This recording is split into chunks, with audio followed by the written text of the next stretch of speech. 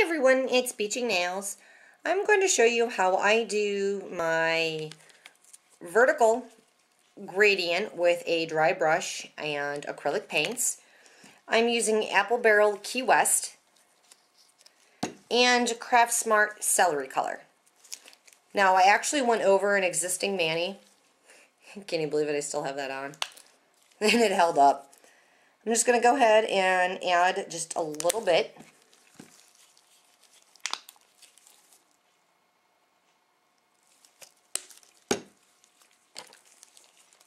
And I went ahead and because I'm, I went over an existing mani, I used a sponge, which I use sea sponges, and the celery color, and I just sponged it on top of my existing mani. And I did not top coat or anything, and I mean I had great coverage, you can't really see my mani what I had underneath. And we're going to dry brush. And for this, the brush is dry. There's nothing on it. I'm going to dip in half of my brush in one color, half in another,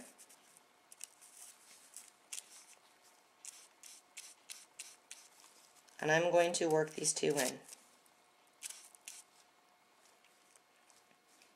Dip a little bit more color.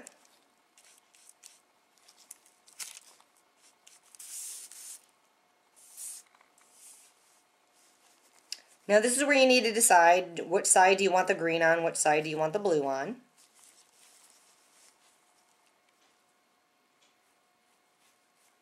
And you're literally are just going down. I do see there's a piece of the brush.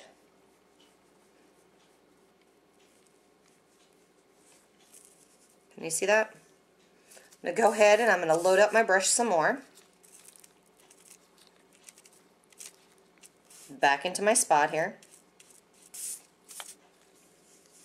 and back on my nail.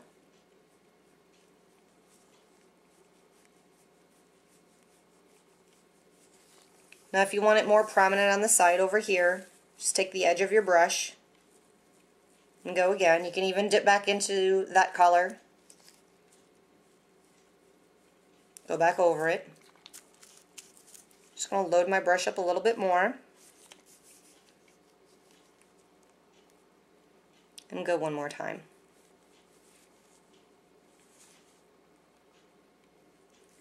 Now what I like about playing with acrylic paints, if I didn't like this, I can use water and wipe it off. I can use rubbing alcohol and wipe it off and I'm back to a fresh start.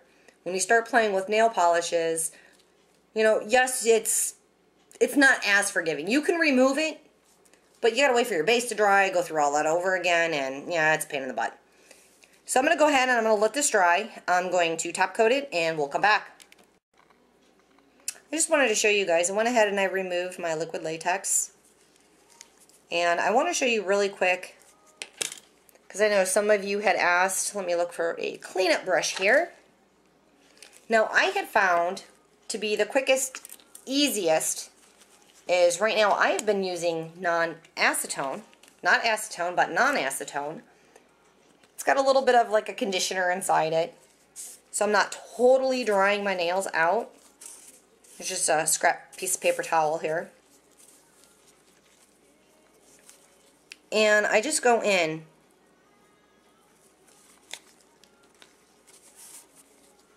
to clean up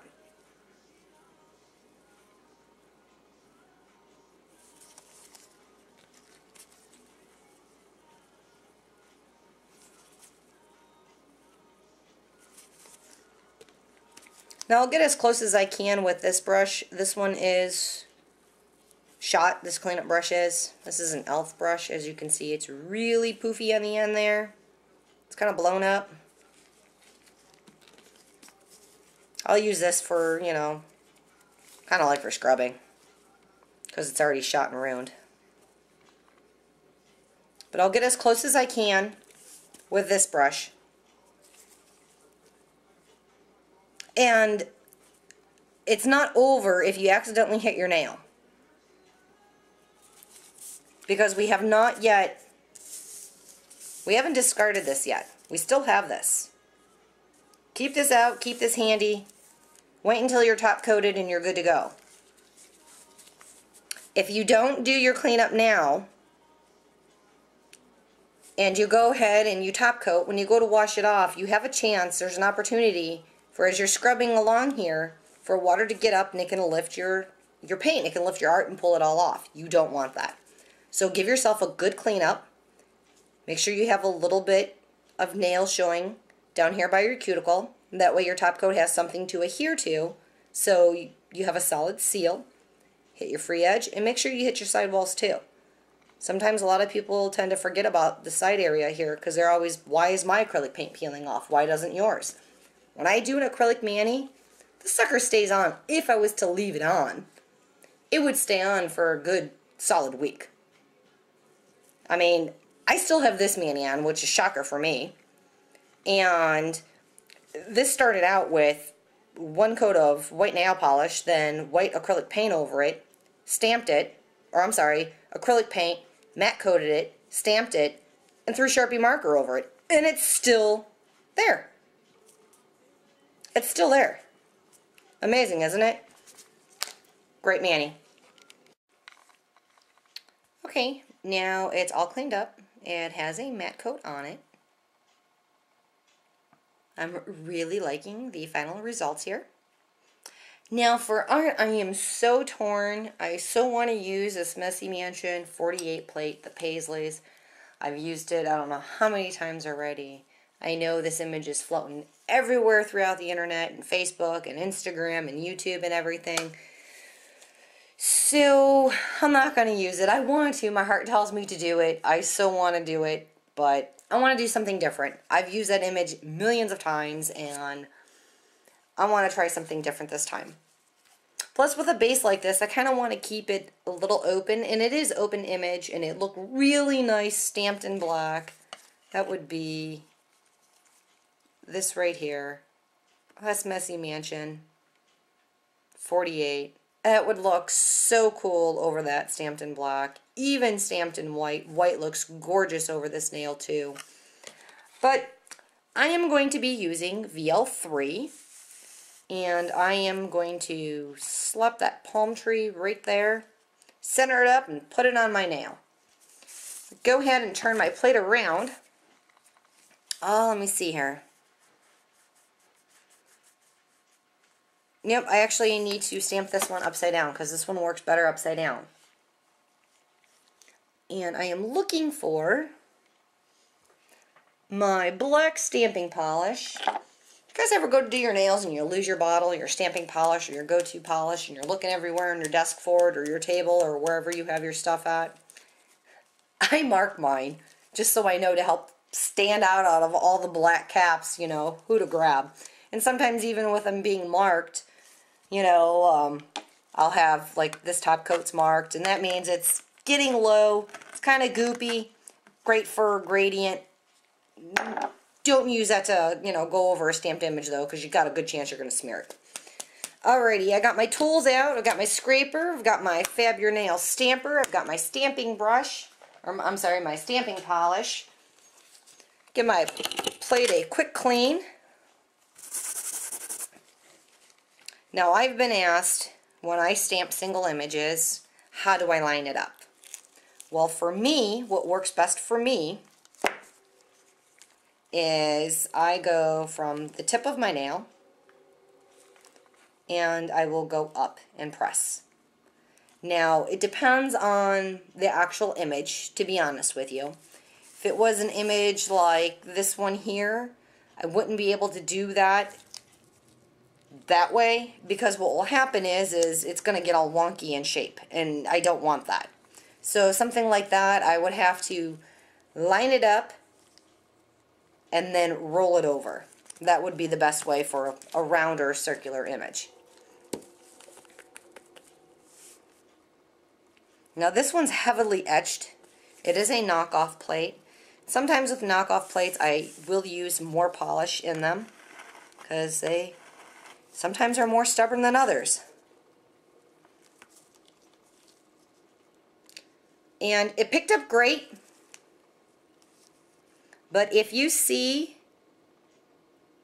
right here at the top of the tree, there's something on my stamper. I noticed that and I'm not taking any chances. So I'm going to go ahead and wipe off and clean my stamper. And I see it's still on my stamper. The lint roller did not remove it. Now these stampers from Fab Ur Nails, they're not like the old school marshmallowy squishy stampers that, you know, get eaten alive when you use acetone. These are made out of a different material and acetone is actually safe on them. Fab even recommends it and has been using acetone to clean hers for quite some time now. And I clean mine like every other lint roller acetone back and forth. And that's honestly, I think, my last stamper bit the dust from using the lint roller too much. You know, those suckers are really sticky. You know, these stamper heads are are sensitive and after pulling on it so many times, kind of like a rubber band, you know, they're going to get stretch marks, they're going to get little tear marks in there and you know, next minute you know, it's falling apart on you and it starts messing up your images when you're stamping. But that's my personal opinion on that.